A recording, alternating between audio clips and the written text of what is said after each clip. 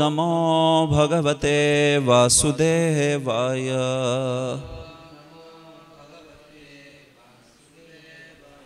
ॐ नमो भगवते वासुदेवाय।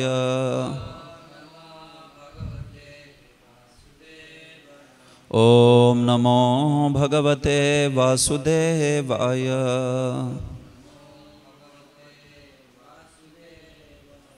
ॐ अज्ञानतिमिरान्धस्य ज्ञानाञ्जनशलाकया चक्षुरुन्मिलितं येन तस्मै श्रीगुरवे नमः।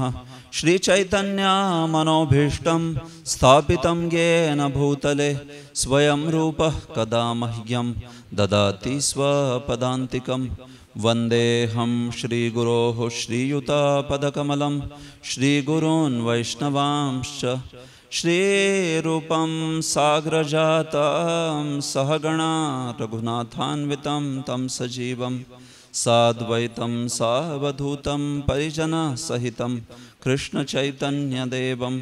श्रीराधाकृष्णपदान् सहगणा ललिता श्री श्रीविशाखान्वितांश्च।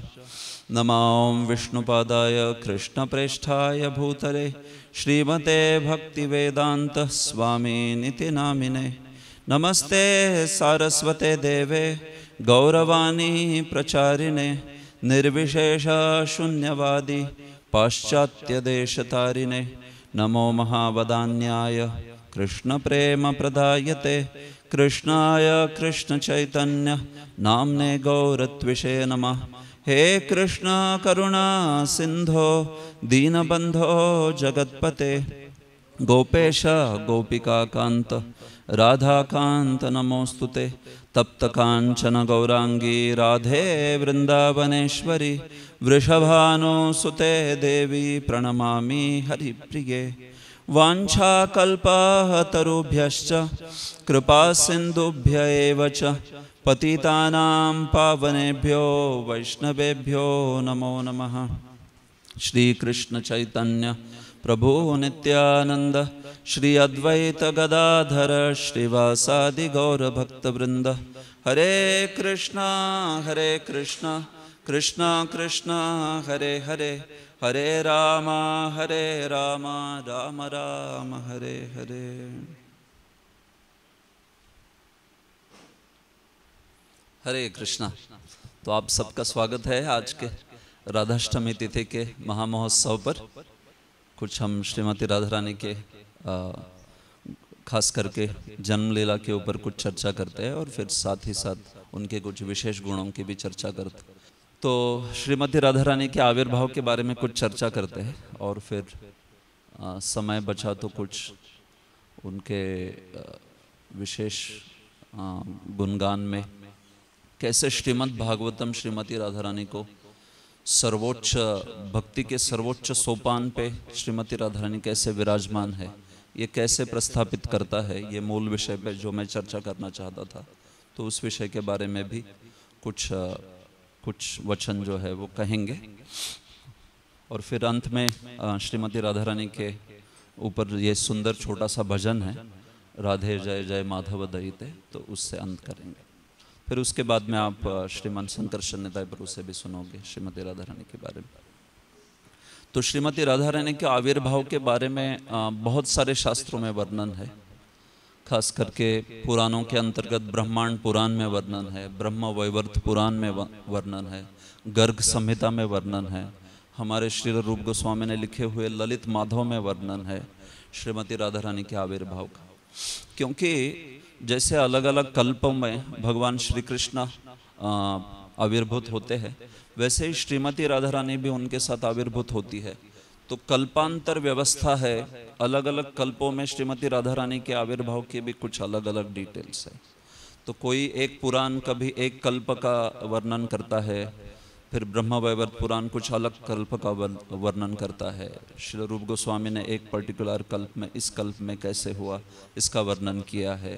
तो ऐसे अलग अलग कल्पांतर के अनुसार आपको अलग अलग वर्णन मिलेंगे।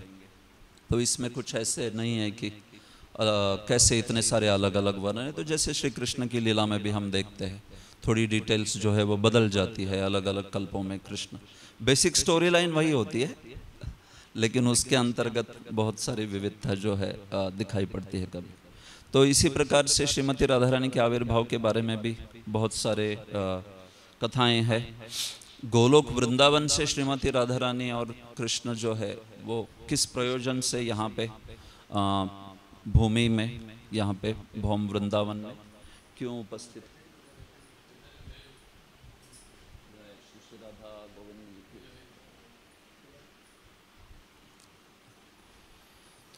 तो गोलोक वृंदावन से श्रीमती राधा रानी और कृष्ण किस प्रयोजन से यहाँ पे भौम वृंदावन में, खास करके किस निमित्त से? यहाँ पे आविर्भूत हुए। इसकी बड़ी प्रसिद्ध कथा है विरजा नदी के बारे में और फिर लीला के तौर पे कैसे विरजा नदी को शाप आदि मिला वगैरह। तो हम उस लीला में जाएँगे नहीं, विस्तृत लीला है वो ब्रह्मांड पुराण से। तो मैं खास करके ललित माधव से जो शिल रूप गोस्वामी ने बोला है, उसके बारे में चर्चा करूँगा कुछ हद तक। जो कथा जो है श्रीमती राधा रानी के आविर्भाव की। वो बताई है तो उसके बारे में चर्चा करूँगा तो बड़ा सुंदर ग्रंथ लिखा है श्री रूप गोस्वामी ने ललित माधव नाम का जो भगवान श्री कृष्ण की लीलाओं के बारे में और भी कुछ गहराई में विस्तृतता से हमें बताता है।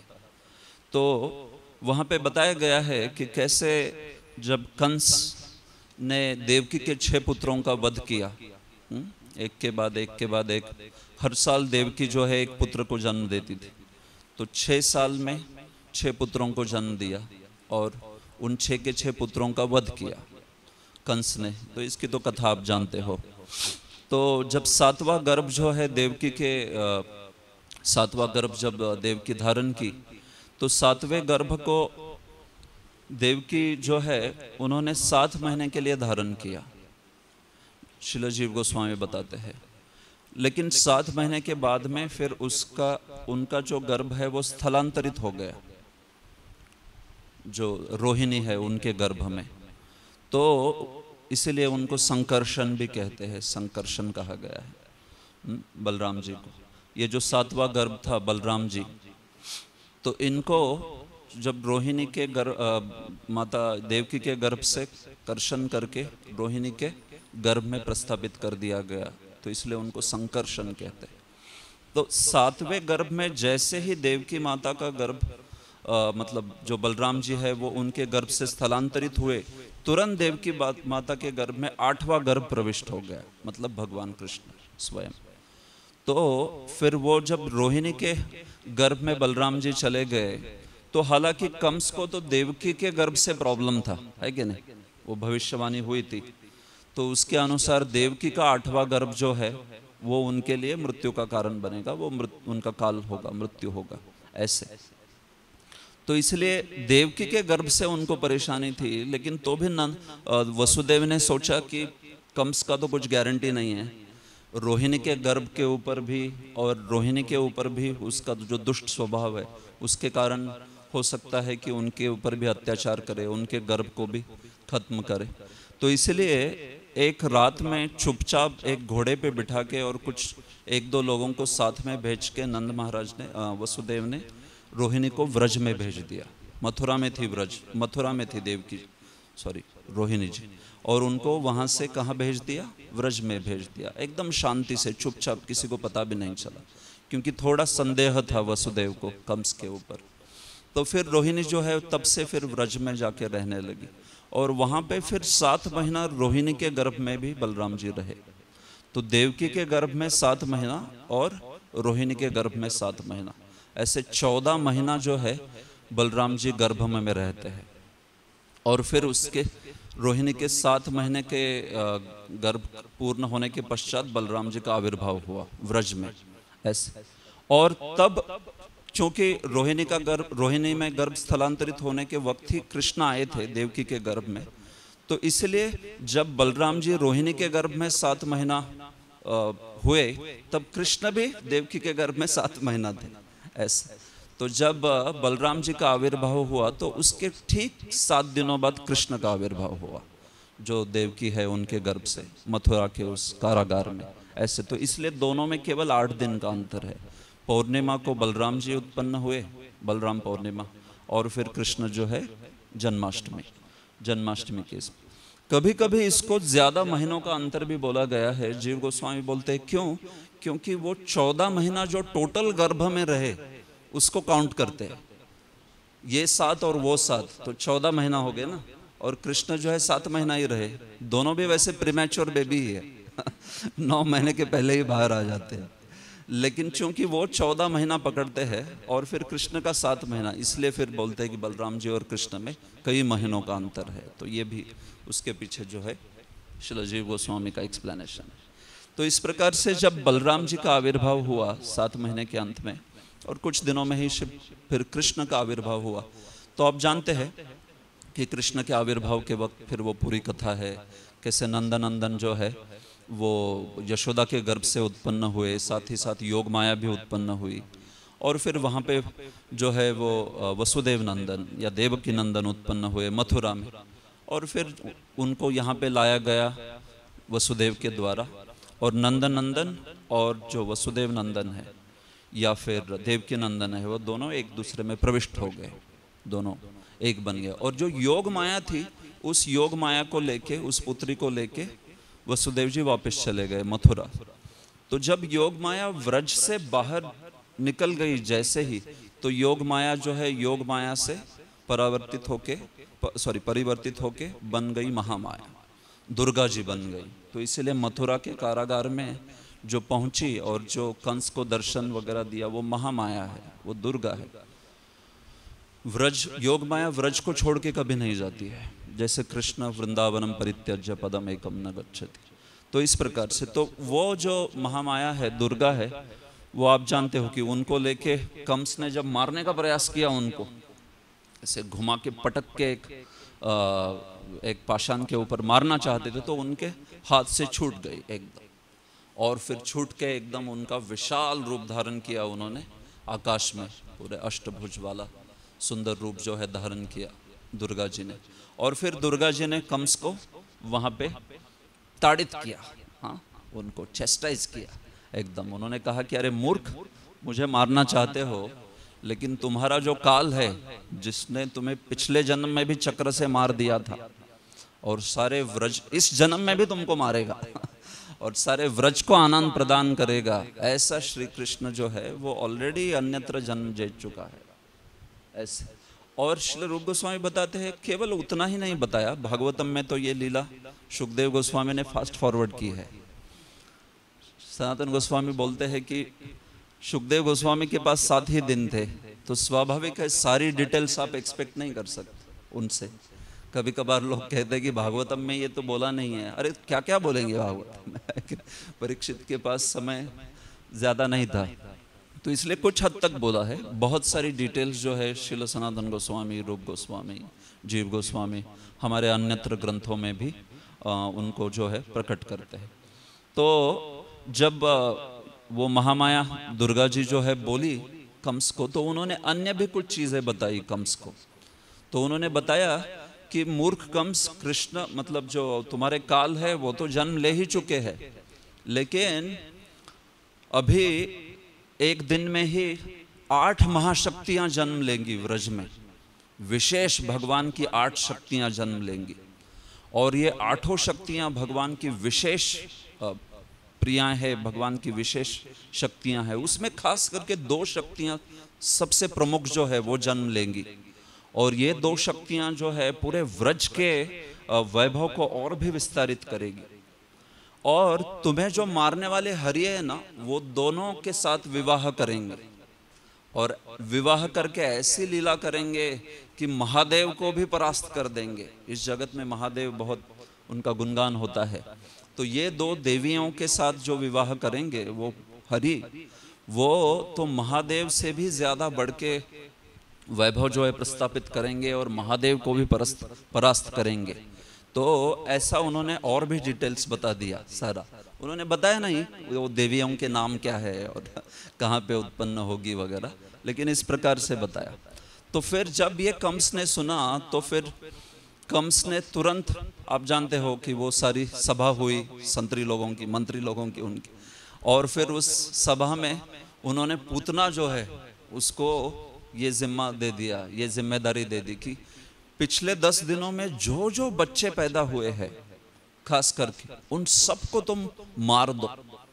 तो वो जो इंस्ट्रक्शन थी थोड़ी डिटेल में थी एक्चुअली उसमें अगर कोई पुरुष है मतलब बालक है, शिशु जो कि पुत्र है तो उनको मार दो।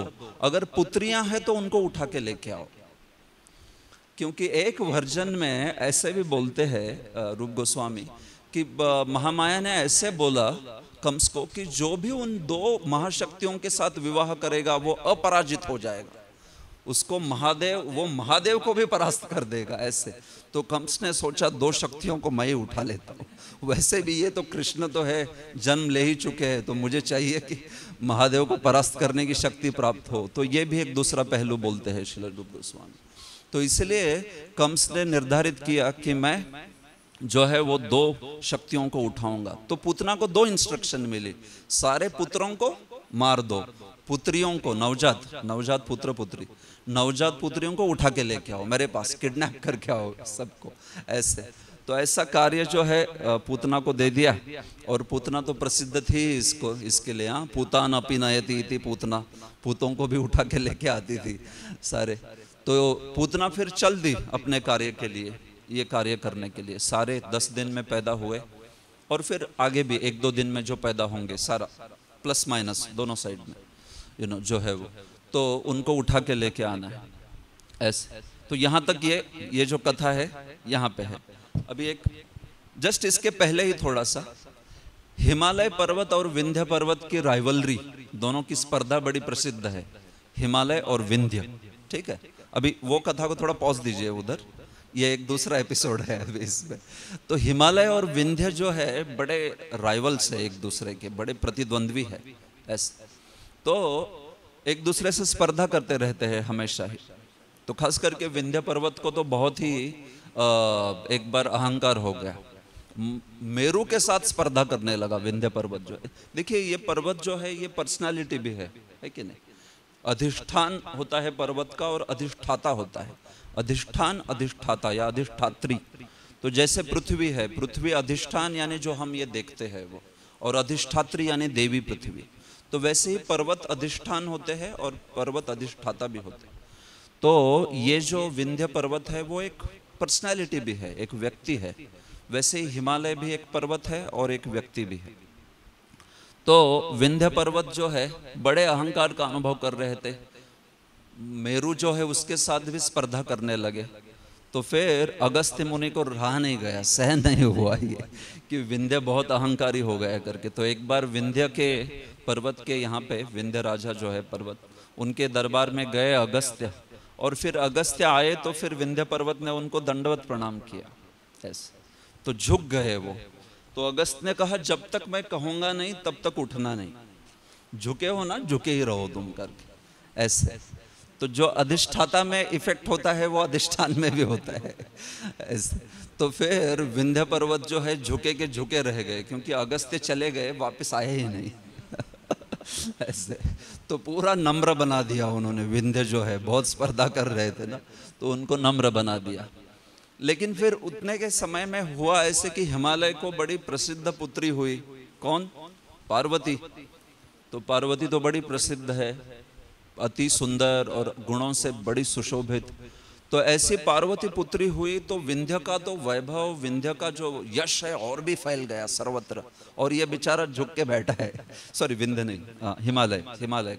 और विंध्य जो है ये तो झुक के बैठे है अपने, ऐसे। और यहाँ पे पार्वती का यश सर्वत्र फैल रहा है, इतनी सुंदर पुत्री जो है हिमालय को प्राप्त हुई। इतना ही नहीं, उनके पति के रूप में कौन हुए? महादेव। तो शिवजी हुए तो ऐसे जामात्र यू नो ऐसे जमाई और ऐसी पुत्री तो बड़ा यश विस्तारित हो गया हिमालय का। तो विंध्य जो है, वो यहाँ पे एकदम सहन कर नहीं पा रहे थे। अरे, ये क्या हो गया? अगस्त ने तो मुझे पूरा पूरा नम्र कर दिया अभी।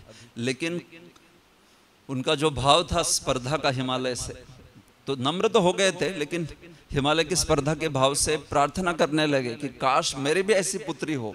हिमालय के पुत्री से भी महान पुत्री हो मेरी। और मेरा जमाई हिमालय के जमाई से भी महान हो। ऐसा तो ऐसा निश्चय करके फिर उन्होंने बड़ी तपस्या की, कड़ी तपस्या की ब्रह्मा जी की, कि ब्रह्मा जी, मुझे ऐसा एक पुत्र, मुझे ऐसी पुत्री प्राप्त होवे जो तो पार्वती से भी श्रेष्ठ है। और ऐसा जमाई प्राप्त होवे जो कि भगवान महादेव से भी श्रेष्ठ है करके। तो ऐसी बहुत कड़ी तपस्या की उन्होंने। तो देखिए, ये भगवान की लीला में ही अपना अपना कार्य कर रहे हैं। कोई सोचेगा कि ये ऐसे स्पर्धा के भाव से क्या तपस्या कर रहे हैं ये? और स्पर्धा के भाव से तपस्या करके ब्रह्मा जी प्रसन्न होंगे उनसे? हो जाते हैं प्रसन्न। क्यों? क्योंकि ये लीला का, ये लीला का पहलू है इसके अंतर्गत। तो फिर ऐसी कड़ी तपस्या की उन्होंने कई हज़ार वर्षों के लिए तो उस तपस्या के द्वारा ब्रह्मा जी जो है बड़े प्रसन्न हुए उनसे।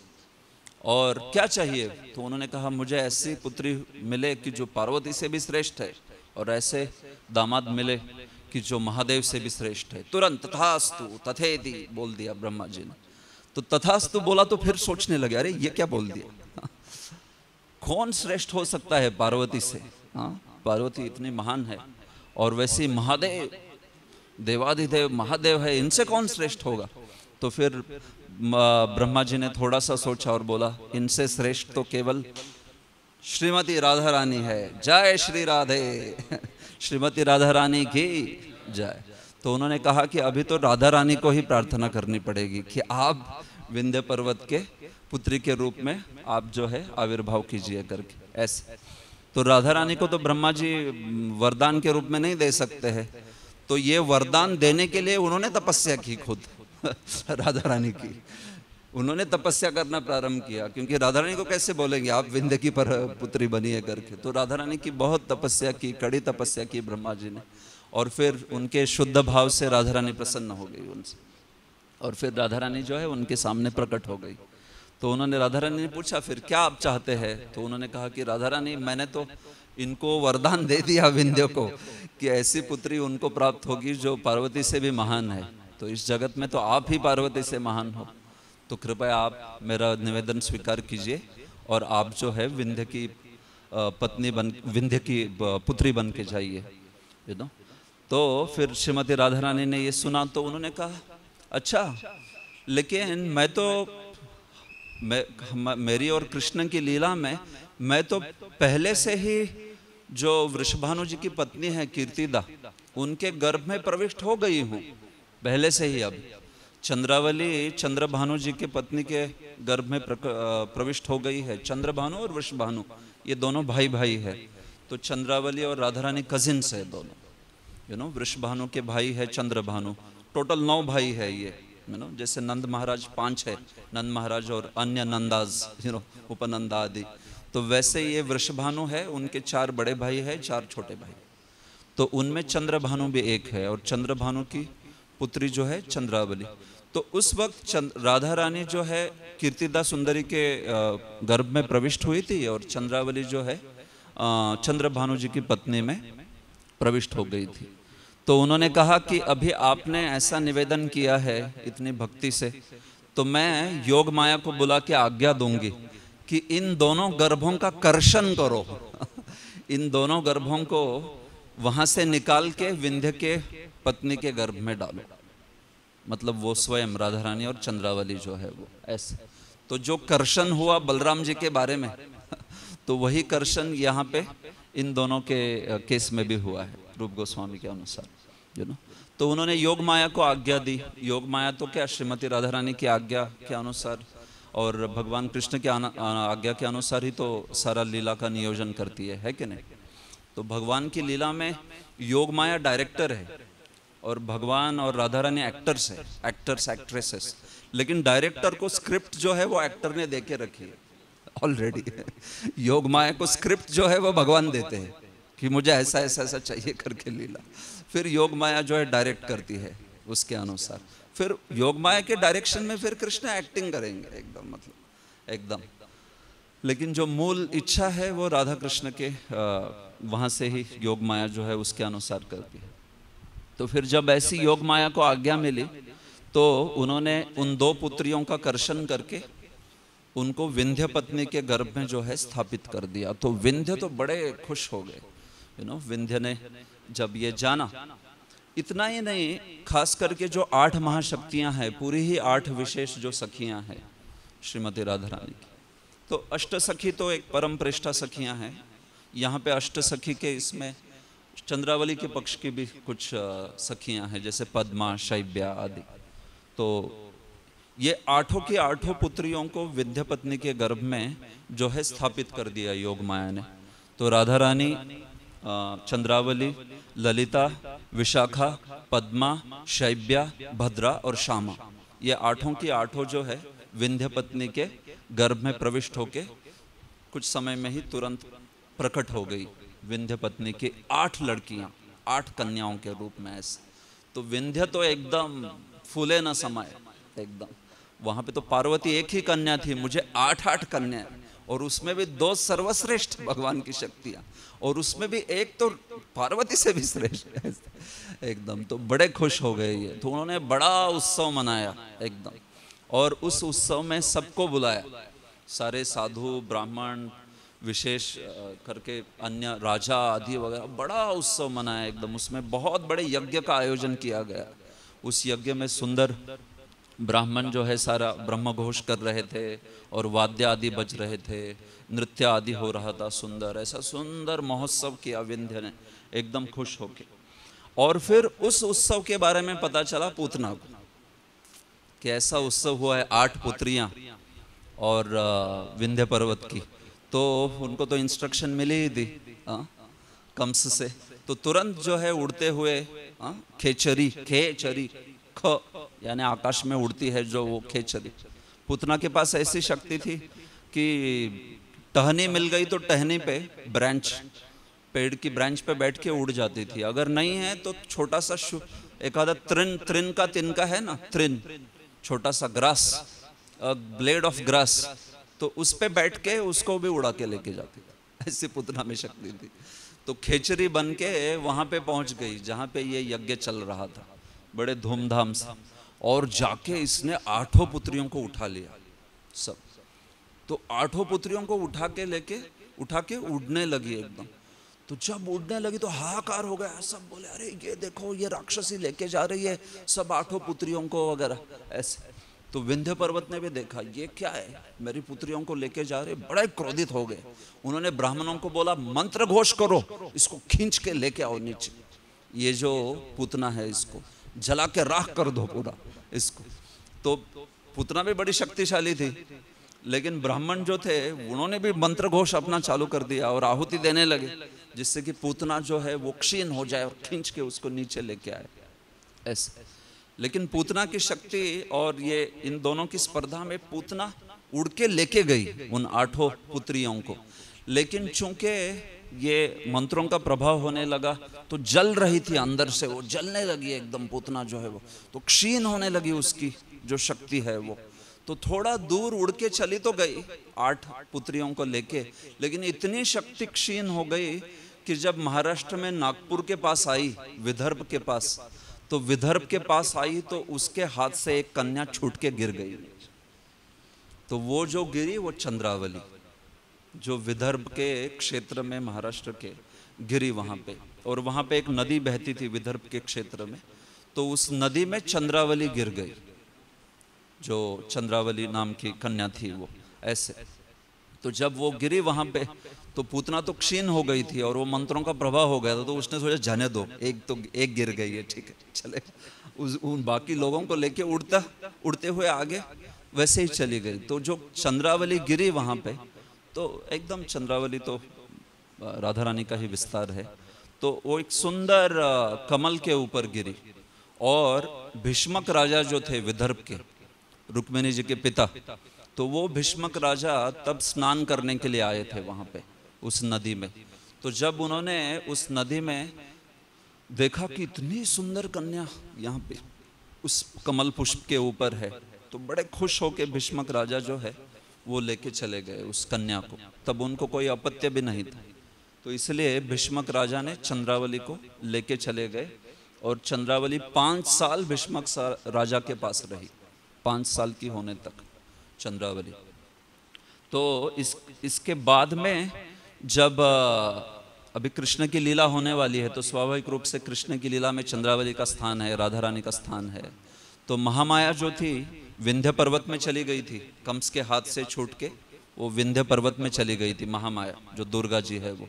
उन्होंने जामवान को आज्ञा दी जामवान रामायण के लीला वाले, जो वहीं पे विंध्य पर्वत में रहते थे, कि उन्होंने कहा कि जाओ, व्रज की जो आठ महाशक्तियाँ हैं, उसमें से एक महाशक्ति है, विदर्भ में गिरी है। और उनको भीष्मक राजा ने पालन पोषण किया है।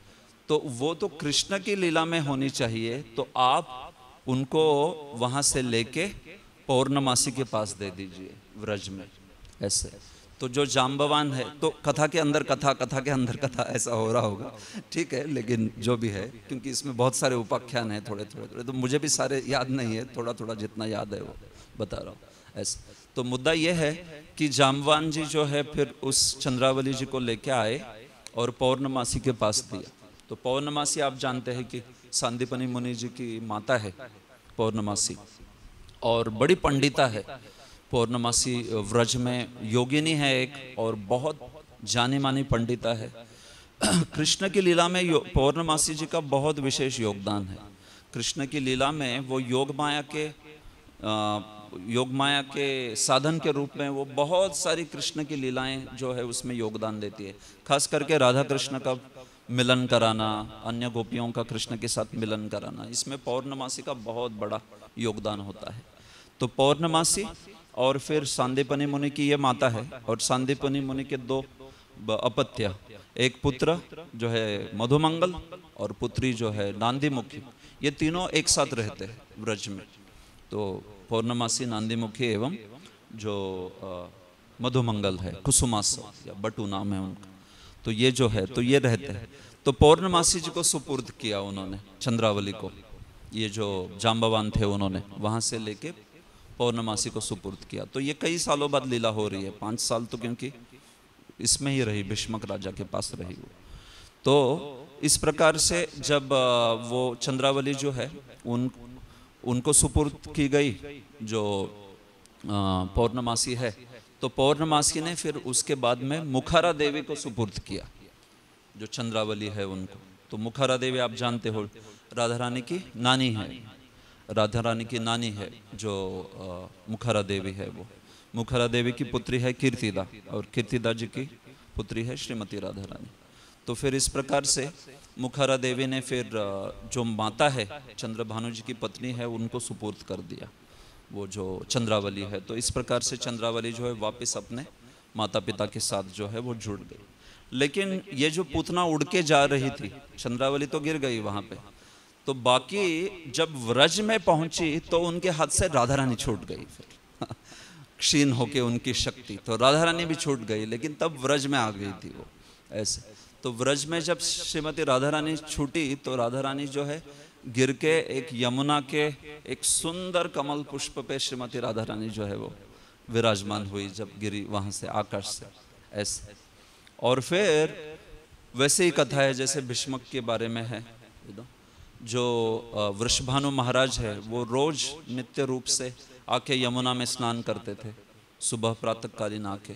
तो एक बार जब सुबह प्रातःकालीन समय में आए तो उन्होंने देखा कि एक कमल इतना तेजस्वी था कि जिस सेक्शन में यमुना के वो स्नान कर रहे थे, वो दूर सेक्शन में देखा कि वो कमल इतना तेजस्वी है, इतना चमक रहा है, कि जाके उन्होंने उस कमल को देखा कि क्या है ये, इतना तेजस्वी कमल कैसे? जब कमल देखा उन्होंने तो कमल के ऊपर तो साक्षात राधा रानी विराजमान है वहाँ पे। ऐसा तो ऐसी सुंदर कन्या, इतना अप्रतिम उनका मुखमंडल और सौंदर्य था तो उनको देख के बहुत प्रसन्न हो गए वृषभानु महाराज। और वृषभानु महाराज और कीर्तिदा को भी जैसे नंद यशोदा थे वैसे बहुत समय तक अपत्य नहीं हुआ था बहुत समय तक।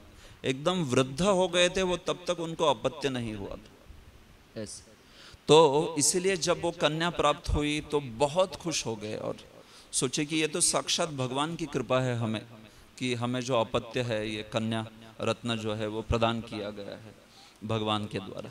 तो इस प्रकार से उन्होंने उनको लेके जाके कीर्तिदा माता जो है उनको सुपुर्द कर दिया। तो इस प्रकार से श्रीमती राधा रानी जो है वृषभानु महाराज और कीर्तिदा सुंदरी के पास बरसाने में पहुँच गई। ऐसे। तो फिर बाकी जो कन्याएँ थे एक एक एक एक करके व्रज में अन्य अन्य स्थानों पे गिर गई। पुतना के आ, आ, पुतना के क्या कहते हैं हाथों से। ऐसे। ये जो कन्या है वो बाकी सारी। तो सारी कन्याओं को उठा के फिर एक एक एक एक करके पौर्णमासी जी ने उनकी उनकी माता के साथ सुपुर्द कर दिया। जो भी विशाखा है, ललिता है, उनकी जो भी माता है, वो तो पौर्णमासी जी तो सब जानती है लीला तो इसलिए उस प्रकार से उन्होंने सारी माता जो है उनको सुपुर्द कर दिया। ये जो भी कुछ कन्याएँ थी उनकी। तो इस प्रकार से तो कल्पांतर में ऐसे भी बताया है कि कभी एक बार वृषभानु महाराज जो है, वो खेत जोत रहे थे। जोधना बोलते? जोधना yes plowing he was plowing the fields तो खेत जो है जोध रहे थे। तो खेत जो, खेत जोतते हुए उनको एक सुंदर कन्या जो है वो प्राप्त हुई भूमि में। तो वो है श्रीमती राधा रानी। तो जैसे सीता देवी जो है हमारी तो सीता देवी के अनुसार जैसे कथा है उनकी हाँ सीत लिटरली जो वो लंगर होता है, उसको सीत कहते हैं उसके। तो उससे सीता तो वैसे ही श्रीमती राधा रानी की भी कथा है। इसी को शिल प्रभुपाद जी भी राधा रानी के लेक्चर में रेफर कर रहे थे कि एक बार राधा रानी जो है इस प्रकार से वृषभानु महाराज को मिली। तो ये भी कल्पांतर में इस प्रकार से भी कथा जो है, वो बताई गई है। तो इतने वृद्धावस्था में इस प्रकार से कन्या की प्राप्ति हुई जो वृषभानु महाराज है और जो कीर्तिदा है, लेकिन इस कन्या की प्राप्ति से उनको आनंद तो हुआ, लेकिन दुख भी हुआ बहुत। तो दुख क्यों हुआ?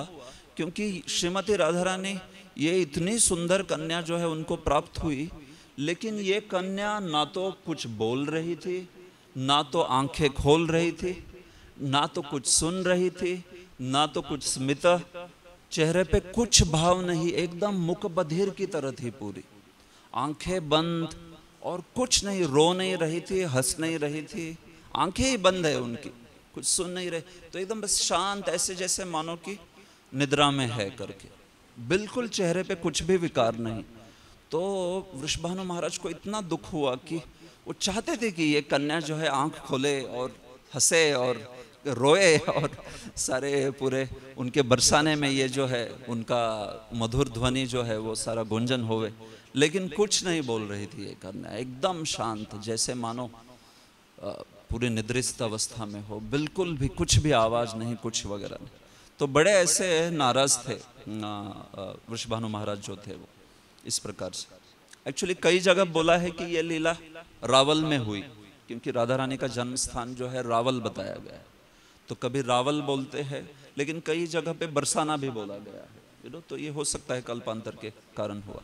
जो जैसे भी नहीं तो राधा रानी का जन्म स्थान रावल है राधा रानी का बचपन बरसाना और राधा रानी का ससुराल यावत। ऐसे, ये तो आपने सुना होगा स्टैंडर्ड वो एक्सप्लेनेशन है उसका। ऐसे तो फिर जब इस प्रकार से श्रीमती राधा रानी का आविर्भाव हुआ तो स्वाभाविक रूप से सारे देवता देवर्षि गण सब जो है, वो कृष्ण और राधा रानी का दर्शन जो है वो लेना चाहते थे। स्पेशली नारद मुनि हाँ जो कि बड़े प्रसिद्ध भक्त है भगवान के। तो नारद मुनि जो है दर्शन करना चाहते थे, कृष्ण का, श्रीमती राधा रानी का। खास करके जानते थे कि शिशु लीला, शैशव लीला तो केवल भौम वृंदावन में ही है। तो कृष्ण का शिशु रूप और राधा रानी का शिशु रूप देखना है तो गोलोक वृंदावन में नहीं मिलेगा। गोलोक वृंदावन में तो वो किशोर है, नित्य किशोर, नित्य किशोरी। सोलह साल के कृष्णा और पंद्रह साल की राधा रानी ये उनका स्टैंडर्ड वहाँ पे उम्र है।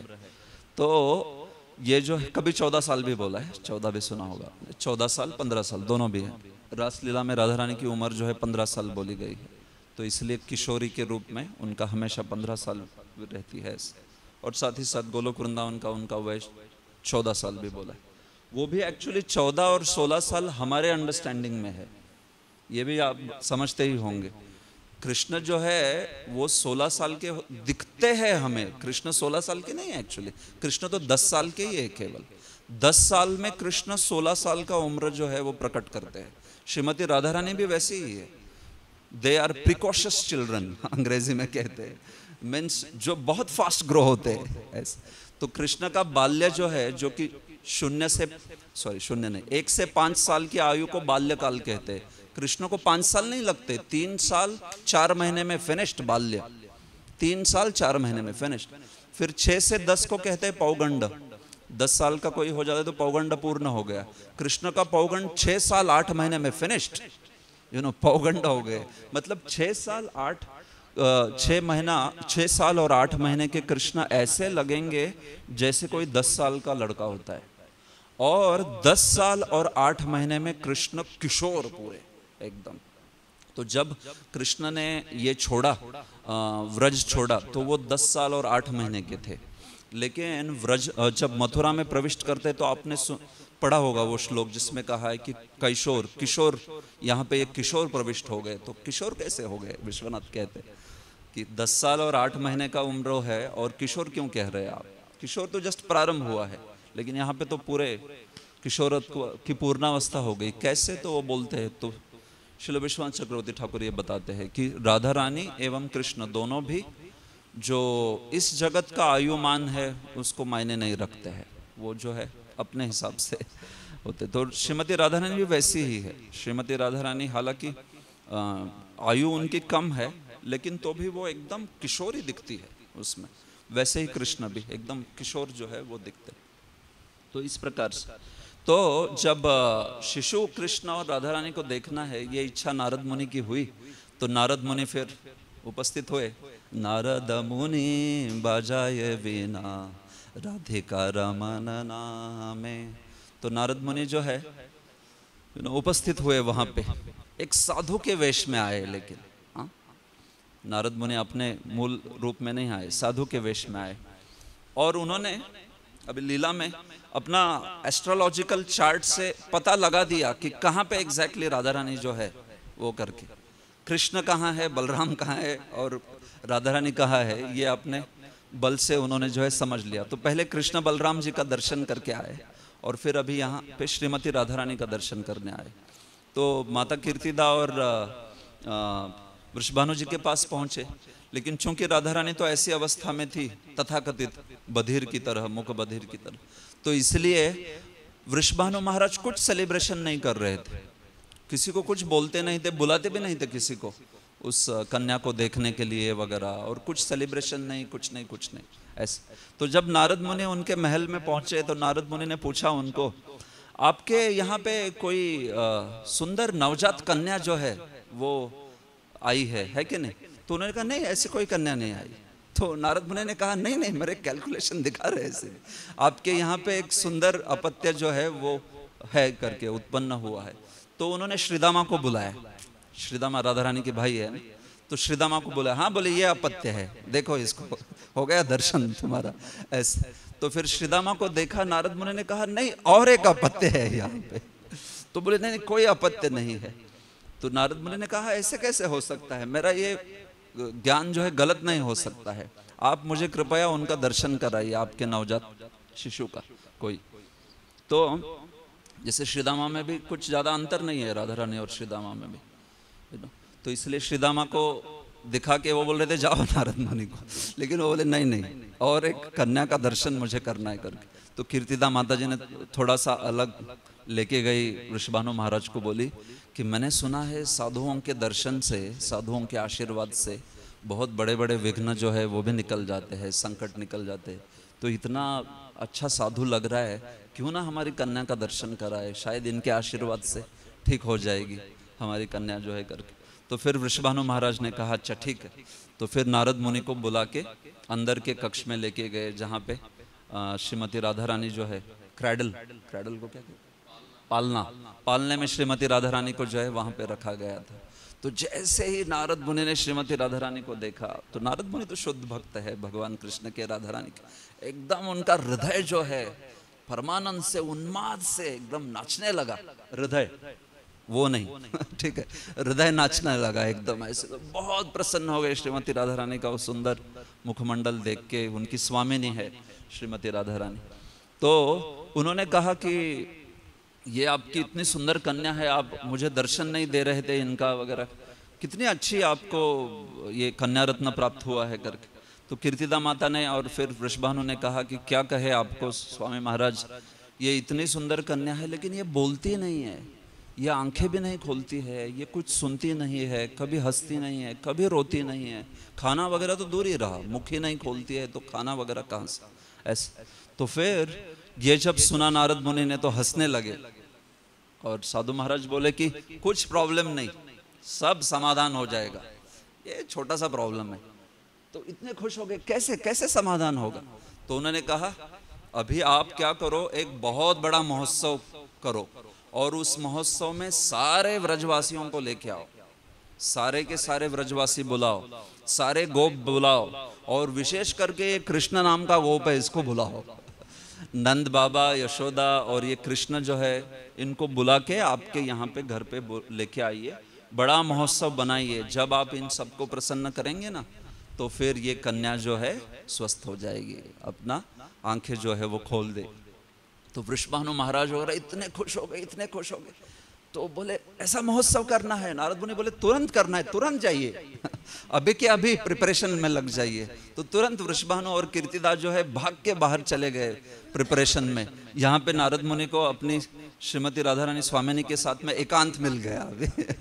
ऐसे। तो फिर अभी क्योंकि उनके सामने तो श्रीमती राधा रानी को दंडवत वगैरह नहीं कर सकते। वो लोग सोचेंगे, कौन है ये मेरी पुत्री? ऐसे। तो फिर जैसे ही वो बाहर चले गए तो राधा रानी को नारद मुनि एकदम दंडवत करने लगे उठ के फिर से दंडवत, फिर से उठ के दंडवत। राधा रानी को प्रार्थना करने लगे, वाह, किरा, क्या मेरा सौभाग्य है कि आपका ये जो शिशु रूप है, वो प्रकट हुआ। गुणगान करने लगे राधा रानी का, एकदम उनको प्रार्थनाएँ अर्पण करने लगे। ऐसे, और उन्होंने कहा कि, श्रीमती राधा रानी ये तो आपका सुंदर शिशु का रूप जो है मैंने देखा। लेकिन आप यहाँ पे अभी कितनी लीलाएँ विस्तारित करोगी श्री कृष्ण के साथ में? तो मैं चाहता हूँ कि आपका वो जो किशोरी रूप है, वो आप मुझे जो है, वो दिखाइए। आप मुझे जो है उसका दर्शन करा दीजिए, ऐसे करके। तो श्रीमती राधा रानी तो जानती है, नारद मुनि इतने प्रेमी भक्त है। तो फिर श्रीमती राधा रानी ने अपना किशोरी रूप जो है, जो भगवान यहाँ पे वृंदावन में वो प्रकट करती है वो जो रूप है वो प्रकट कर दिया उनके सामने, नारद मुनि के सामने। नारद मुनि तो बस भाव विभोर हो रहे, नाच रहे, एकदम सारे अष्ट सात्विक विकार वगैरह प्रकट हो गए, ऐसे। तो उन्होंने श्रीमती राधा रानी को कहा कि आपने तो शिशु रूप भी दिखा दिया मुझे, आपका किशोरी रूप भी दिखा दिया, आपके अष्ट सखियों का रूप भी मुझे देखना है। एकदम प्रेम के कारण नारद मुनि जो है वो डिमांड कर रहे हैं श्रीमती राधा रानी से। तो राधा रानी ने कहा, अभी उसके लिए थोड़ी तपस्या करनी पड़ेगी। तुरंत नहीं मिलेगा वो।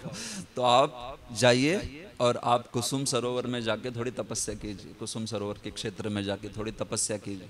फिर जब आप तपस्या करोगे तो फिर आपको हमारा, मेरा और अष्ट सखियों का और कृष्ण का सब का जो है वो सुंदर यू नो जैसे गाते हैं ना वो भजन में, तार मध्य रत्नासने बोसियाचे, दुई जने श्याम संगे सुंदरी राधिका।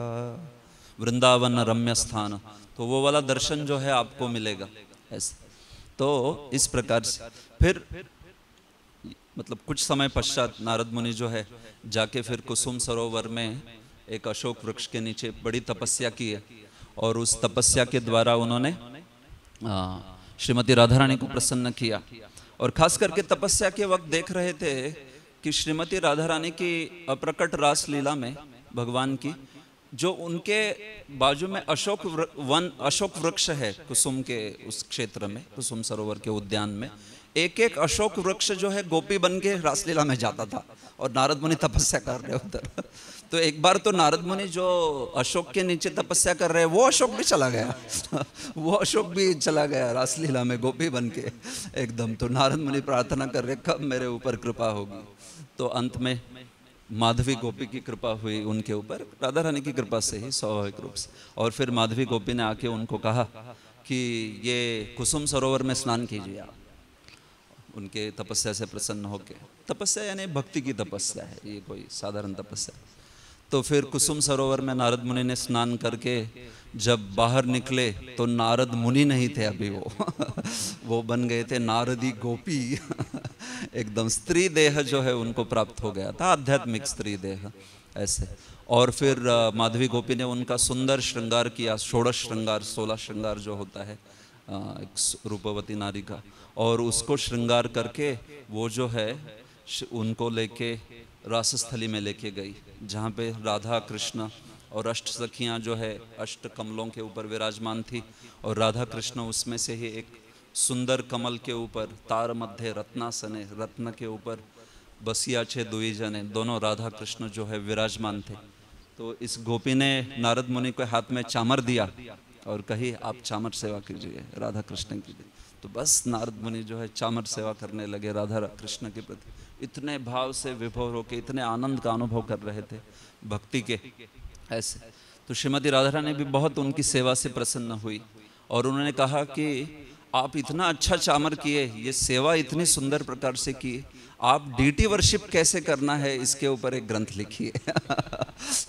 क्योंकि चामर सेवा ना, ऐशा चामर सेवा, हम लोग कहते हैं डीटी वर्शिप तो आप अर्च विग्रह के ऊपर ग्रंथ लिखिए एक करके। तो नारद मुनि ने कहा, राधा रानी, मुझे तो दक्ष का शाप प्राप्त हुआ है। एक जगह पे तीन दिन से ज़्यादा रह नहीं सकता मैं दक्ष के शाप से। मैं किताब क्या लिखूँगा? किताब लिखने के लिए कहीं एक जगह बैठना पड़ेगा ना। तो उन्होंने कहा, मैं तो बड़ा अक्षम हूँ इसमें। तो राधा रानी ने कहा, अरे, व्रज में नारद मुनि कोई शाप कार्य नहीं करेगा। आप व्रज में रहिए। आप जितने चाहे समय व्रज में रह सकते हैं। तो फिर जो नारद कुंड है, वो बड़ा प्रसिद्ध है। नारद कुंड के तीर पर नारद मुनि ने नारद पंचरात्र लिखा। तो नारद पंचरात्र जो कि बड़ा प्रसिद्ध ग्रंथ है, जिसमें अर्च विग्रह की सेवा के बारे में बताया गया है। वो नारद मुनि ने वहाँ पे इस प्रकार से लिखा। तो ये लीला तो कुछ समय पश्चात हुई, खास करके जाके तपस्या वगैरह करने की। लेकिन जब नारद मुनि राधा रानी का दर्शन लेके उस कक्ष के बाहर आए तो सारी तैयारियाँ वगैरह प्रारंभ हो गई थी कीर्तिदा और इनसे। तो नारद मुनि मन ही मन प्रसन्न होके फिर चले गए उनसे अनुमति लेके। लेकिन ये जो महोत्सव है, उसको आयोजित किया गया फिर कीर्तिदा देवी और वृषभानु के द्वारा। तो सबको बुलाया गया, सारे व्रज के गोपों को और खास करके नंद महाराज, यशोदा और कृष्ण बलराम को, है ना? तो कृष्ण बलराम सारे छोटे से बालक थे एकदम, तब तो कुछ आई मीन तब थोड़ा बहुत रिंगन कर पाते थे इस प्रकार से, बताया गया है। तो जब कृष्ण आए वहाँ पे और ये सारा उत्सव चल रहा था, सर्वत्र सब कुछ सुंदर गान आदि चल रहा था तो उसमें श्री कृष्ण थोड़ा सा अलग से निकल के कृष्ण जो है रिंगन करते हुए क्रॉलिंग रिंगन करते हुए कृष्ण जहाँ राधा रानी का कक्ष है, वहाँ पे चले गए श्रीमती राधा रानी के कक्ष में। और वहाँ पे राधा रानी पालने में जो है वो झूल रही थी, उनको रखा गया था। वैसे ही आँखें बंद, कुछ किसी को बोलना नहीं वगैरह ऐसे। तो कृष्ण ने ऐसे रिंगन करते हुए उठ के पालने को पकड़ लिया। और पालने को पकड़ के ऐसे श्रीमती राधा रानी के ऊपर दृष्टिपात किया।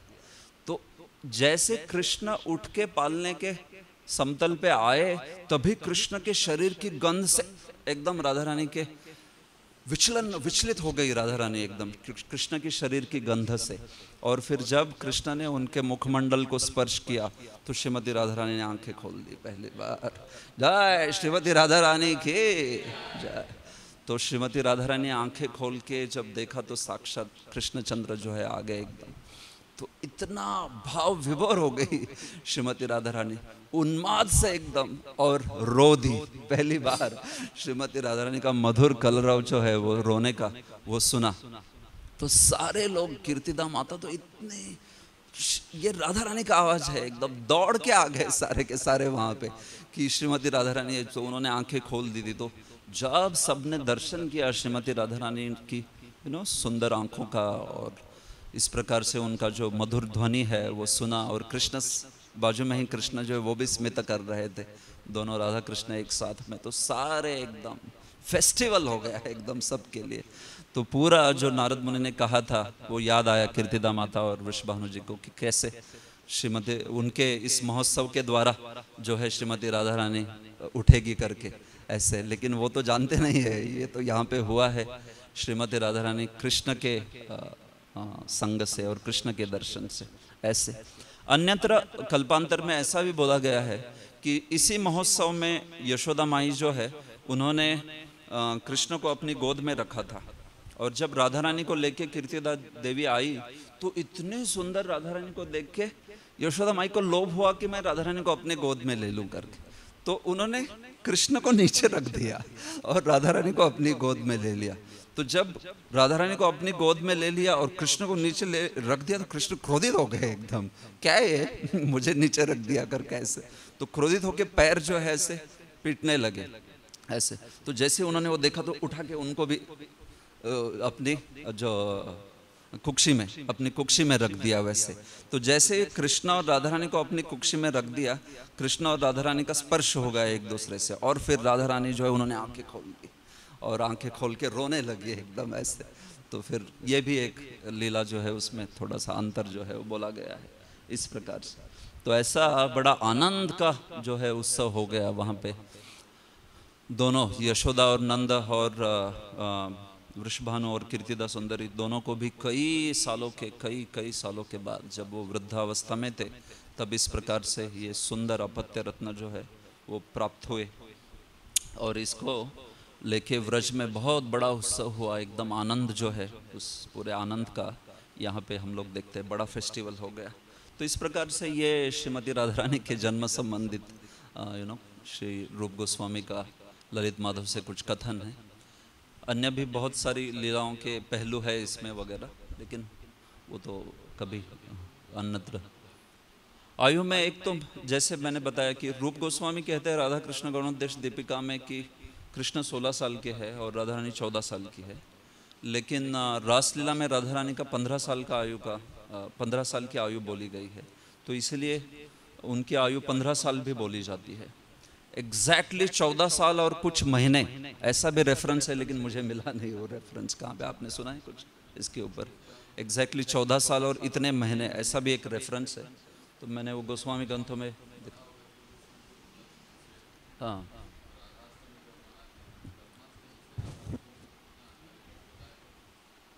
उन्होंने बलराम पूर्णिमा और जन्माष्टमी के बारे में बोला है। राधाष्टमी और जन्माष्टमी के बारे में तो बोला नहीं। ये इसके बारे में बोला। लेकिन गोलोक वृंदावन में दोनों के बीच में दो साल का अंतर है। ये तो वचन है। इसके बारे में तो बोला है। एकदम अच्छा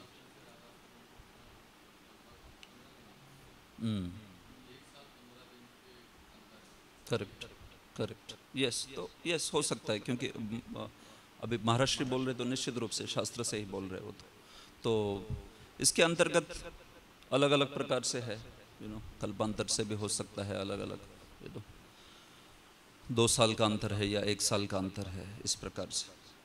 इनफैक्ट राधा रानी का जो आविर्भाव है, वो आविर्भाव भी इस तरह से भी मनाया जाता है, रूप गोस्वामी कहते हैं जीव गोस्वामी कहते हैं कि जब वो वृषभानु को प्राप्त हुई, तब।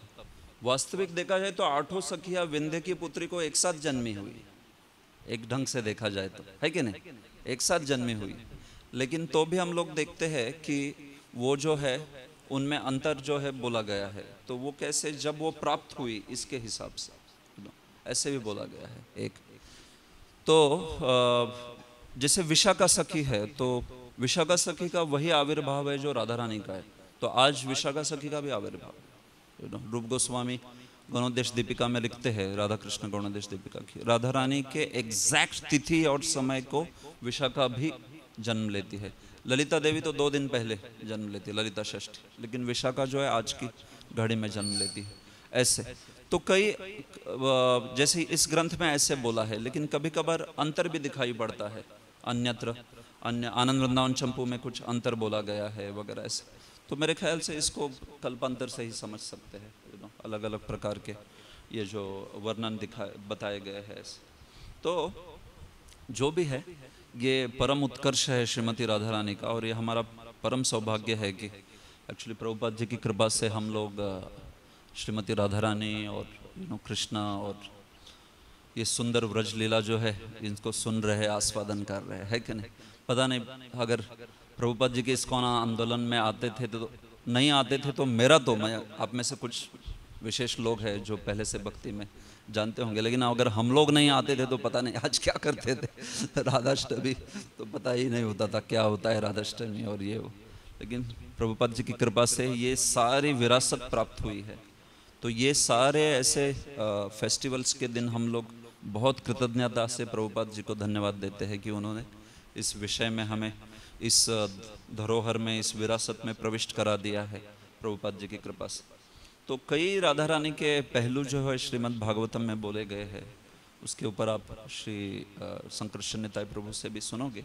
लेकिन खास करके रासलीला के अंतर्गत श्रीमती राधा रानी का सर्वोच्च भक्त भगवान के रूप में जो है प्राकट्य हुआ है। और इसके ऊपर श्रील कवि कर्णपुर ने आनंद वृंदावन चंपू में अमेजिंग कमेंट्री लिखी है। क्यों भगवान ने श्रीमती राधा रानी को रास स्थली से छोड़ दिया? यू रासस्थली से त्याग क्यों दिया? तो मैं क्यों बता रहा हूँ? आप लोगों को कुछ विज्ञापन कर रहा हूँ केवल। बोलूँगा तो नहीं, समय हो गया है। विज्ञापन बता रहा हूँ। ऐसा श्रीमती राधा रानी का महती वहाँ पे प्रस्थापित करते हैं कि कई एंगल पे ये समझ सकते हैं कि भगवान ने क्यों त्याग दिया राधा रानी और गोपियों को। एक, दो, तीन, चार, ऐसे चार अलग अलग पहलू देते हैं। शिल कवि कर्णपुर जो है वो। और अंत में कवि कर्णपुर श्रीमती राधा रानी के निस्वार्थता, कल हम निस्वार्थता की बात किए थे, है कि नहीं? तो आज मैं उसी की श्रृंखला में, निस्वार्थता में, रासलीला के आधार पे कुछ बोलने वाला था। तो उस निस्वार्थता में वो बताते हैं कि कैसे श्रीमती राधा रानी में जो वो अहंकार का प्राकट्य होता है, या गोपियों में अहंकार का प्राकट्य होता है, वो केवल इसलिए होता है कि वो चाहती है कि अन्यों को कृपा मिले, कृष्ण की। गोपियों ने जब कृष्ण को देखा कि कृष्ण जो है हमारे साथ ही है हम्म, तो हमारे साथ है और हर गोपी सोच रही थी कि मेरे साथ है करके। तो वो जानती है कि राधा रानी इतने महान है राधा रानी का ऐसा प्रेम है कृष्ण के प्रति कि वे सब चाहती थी कि एक्चुअली पूरे विश्व में पूरे जगत में राधा रानी का गुणगान हो कि कृष्ण हम सबको त्याग के भी राधा रानी जो है उनको त्याग नहीं सकते हैं। तो इसीलिए उन्होंने योग माया के प्रभाव से वो अहंकार प्रकट किया, ताकि कृष्ण छोड़ दे उनको और राधा रानी के पास चले जाए। क्यों? क्योंकि वो राधा रानी का गुणगान हो कि सबसे श्रेष्ठ जो है वो राधा रानी है करके। ऐसे। और जब वैसे हुआ कि कृष्ण जो है राधा रानी के संग में राधा रानी को एक्सक्लूसिव कृष्ण का संग प्राप्त हुआ तो आनंद वृंदावन चंपू बताता है कि राधा रानी गोपियों के बारे में सोचने लगी। वो सोचने लगी कि एक्चुअली गोपियाँ मेरे और कृष्ण की सेवा के लिए इतनी तत्पर रहती है। मैं कैसे बगैर गोपियों के सेवा कृष्ण के संग में रह सकती हूँ? एक्चुअली मेरा अधिकार नहीं है, ये तो गोपियों का अधिकार है कृष्ण के साथ रहने का। तो I cannot be exclusively with Krishna. ये अधिकार तो गोपियों को होना चाहिए। इसलिए उन्होंने कृष्ण को पहले तो स्लो डाउन करने का प्रयास किया, जब दोनों जा रहे थे तो। हाँ मैं थक गई हूँ, राधा रानी का, मैं चल नहीं सकती हूँ। क्यों? ऐसे क्योंकि कृष्ण स्लो, धीरे चले और फिर गोपियाँ जो है पहुँच जाए राधा रानी के पास, ताकि सबको एक साथ मिलके कृष्ण का संग हो लेकिन तो भी वो हुआ नहीं और फिर राधा रानी जो है, उनको लेके कृष्ण आगे चले गए। तो फिर राधा रानी ने सोचा कि अभी अगर सारी गोपियों को संग प्रदान करना है और सारे एक साथ आके कृष्ण का संग को आस्वादित करे तो मुझे अहंकार प्रकट करने के सिवा और कोई चारा नहीं है। तो राधा रानी ने वो अहंकार प्रकट किया, ऐसा अमेजिंग कमेंट्री दिया है एक्चुअली आनंद वृंदावन चंपू में। तो वो निस्वार्थता प्रकट करती है, वो चाहती है कि दूसरों को कृपा मिले। इसलिए श्रीमती राधा रानी जो है, उन्होंने अहंकार प्रकट करके, फिर कृष्ण ने उनको भी त्याग दिया, ऐसे। तो कोई स्वाभाविक रूप से कहेगा, अहंकार आ गया, इसलिए छोड़ गए। वो तो एकदम एक्सटर्नल है, बाह्य है वो। लेकिन वो निस्वार्थता है वो। वो चाहती है दूसरों को कृपा मिले, इसलिए वो प्रकट हो रहा है। ऐसे सुंदर टीका आनंद वृंदावन चंपुनी की। तो बस वही है, प्रभु जी आ गए मैं अंत करूँगा इसके साथ।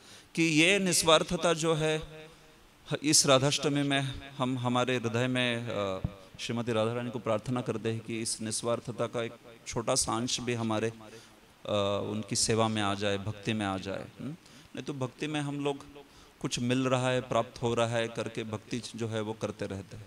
लेकिन ऐसा निस्वार्थ भाव जब भक्ति में प्राप्त करेंगे तो फिर राधा रानी जो है उनका निश्चित रूप से कृपा कटाक्ष जो है वो हम, हमारे ऊपर गिरेगा।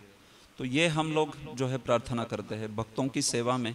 राधा कृष्ण के प्रति रिलेशनशिप संबंध हमें प्राप्त करना तो बहुत दूर है।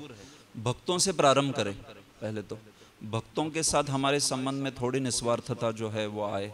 ऐसे नहीं कि केवल स्वार्थ के संबंध हो वगैरह, नहीं। तो ये निस्वार्थता अगर भक्तों के साथ आएगी, गुरु की सेवा में आएगी तो फिर अंत में आगे चल के राधा कृष्ण के संबंध में भी ये प्रस्तावित होगी।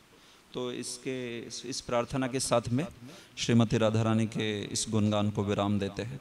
जय श्रीमती राधा रानी के, कृष्ण भगवान के नंद नंदन श्याम के, मोर मुकुट वंशी वाले के श्रील प्रभुपाद की। निताय गौर प्रेमानंदे।